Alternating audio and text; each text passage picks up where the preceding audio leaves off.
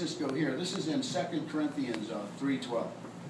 And uh, it's and I, it's, it's our hope. Our hope is in Christ. It's so it's so big.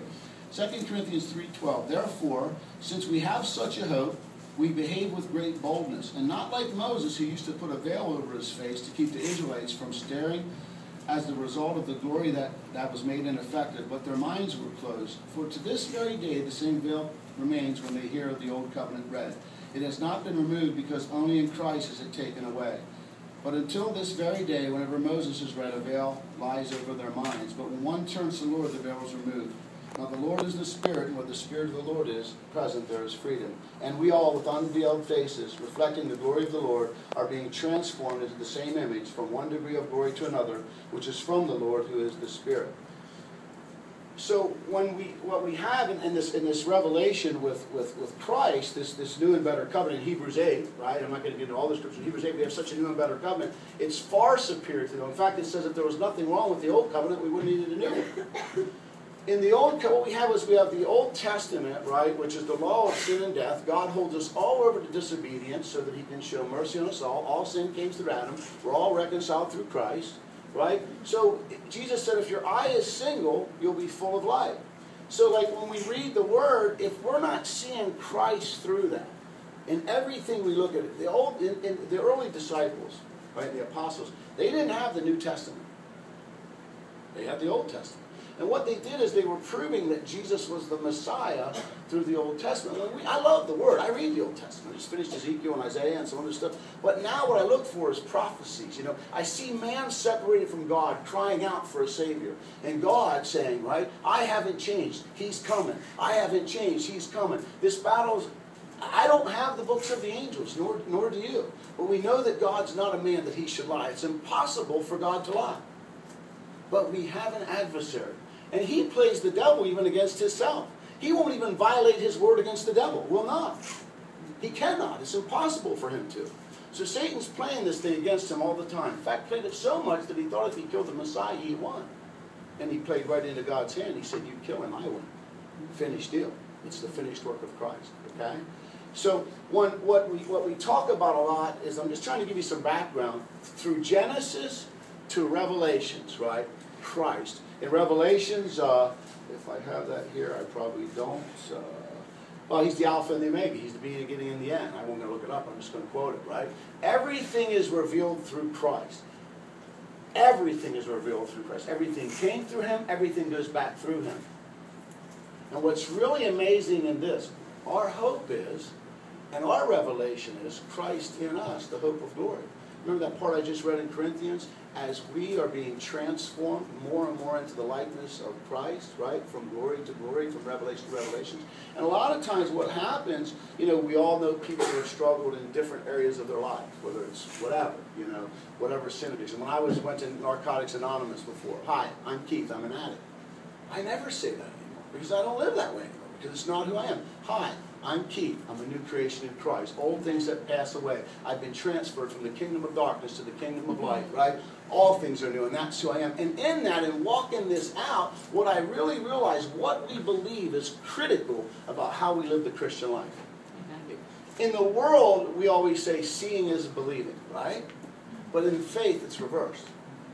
It's what you believe and what you think determines who you are. So Jesus said this. He said, my words and, and, being led by the Spirit. I'm not, I've had rhema revelation from the Holy Spirit. I get that. And sometimes we try to hear God that way. And I'm not against that. Measured against the Word. Make sure you're hearing from God. That's all good. And I do that. But the reality is that we have the Logos, the written Word of God, to lead us by the Holy Spirit.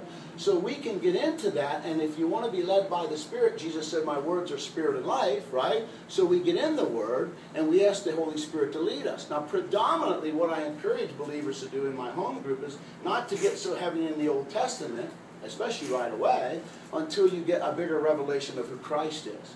You read John, you read Acts, read, you read the Gospel, who Jesus is, what he did. You read Acts, the Holy Spirit comes. And then you get into the epistles, right? I had a friend of mine who read Philippians 2 for 13 weeks. The Holy Spirit said, I don't want you to read anything but this. And Philippians 2, many of you know, is entitled Imitating the Humility of Christ. And, the, and in the beginning, the Word was with God. The Word became flesh. The Word dwelt among men, right? And we want to read that Word Jesus said, I have, I have food to eat that you know not of. My food is to do the will of him. I am the bread of heaven. Right? So, so in eating that food, we want that to transform us by the Spirit, and then it become flesh in us. So the Bible says, as I think, so am I. So when I used to think wrong thoughts, that I was this way to a point where I wanted to commit suicide, isn't it interesting how the mind can get renewed through the washing of the Word? Okay? And so that's the biggest thing is to try to encourage people to get in the Word. I mean, I'm not saying you're not saved if you don't read the Word. I'm not saying that you're not going to heaven. I'm not saying any of that stuff. Because there's nothing that you can do to, to, to earn your way there. It's the finished work of Christ. But you need to believe on the finished work of Christ. What he did by putting his son on the cross is way bigger than what your dad didn't did, did or didn't do, what you did or didn't do, what's been done to you, the persecutions that you go through. It's a really big deal. In fact, it's an eternal perspective. If we don't get an eternal perspective of why we're saved, life has the potential to hammer us constantly to the point that it's easy to walk away from our faith. Okay? You know, why God this? Why God that? Why isn't this happening? Why isn't that happening? Why did this happen to me? How is it that the, the apostles and the writers of the New Testament were writing things like, they joyfully accepted the confiscation of their goods? I count it all joy to suffer for the name, right? You know what I mean? Paul wrote four of the four of the Gospels while he was in prison. Ephesians, Colossians, Philemon, and Philippians, right? And he's writing to us, encouraging us from a place where we would be needed encouraged. And I'm not saying that it's bad to encourage people in prison. Of course, we're supposed to go visit them. Right on? So some of this is, I hope this is making some sense, right? So it's really about the transformation and becoming who it says we are. I'm a saint, okay? And what does it mean to be a saint, right? Well, it means that all the promises that he's given in Christ are mine, okay? All the promises are yes and amen in Christ. All of them. You know, so when I read my, when I, when I was sharing this with my wife recently, is like taking the gospel personal as opposed to taking life personal, or what people say personal, or what did or didn't happen. You didn't get the job, you did get the job, whatever, right? So when we read the gospel, it's right, a lot of times there's so much information. I'm not against reading the daily bread, but I, I think sometimes rereading things over and over and over and again until they become stored up in your heart right? Because when you squeeze, we, we, we like to say this, when you squeeze an orange, what comes out? Orange juice, right? When you squeeze an orange, if something comes out besides orange juice, it kind of freaks you out. Because I wouldn't be drinking it, right? Well, unfortunately, the devil knows that when he squeezes most Christians, everything but Christ comes out. He knows if I can just press on this a little bit, just hit this button, if I can just take this thing from them. And really, the thing for that is is is is for us is to be able to get to a place that we so surrender our life, that we so die to ourselves, right? Jesus didn't pray say this. He didn't say, "Let's pray a prayer to get our name written in the book of life." I get that. We celebrate that. Heaven's a great reward. He didn't say that. He said, "Deny ourselves, die to ourselves, take up your cross and follow me." You know, whatever you give up here, there's a reward in heaven. We have to get the reality that this is a bigger deal than what we make it here on earth. And in the American church, and, I, I'm not knocking, I live in America. I know our circumstances are different, our temptations are different. But a lot of times we haven't suffered the persecution. A lot of times, like some of our brothers and sisters in other, other parts of the world have. And the book says that the godly will suffer persecution.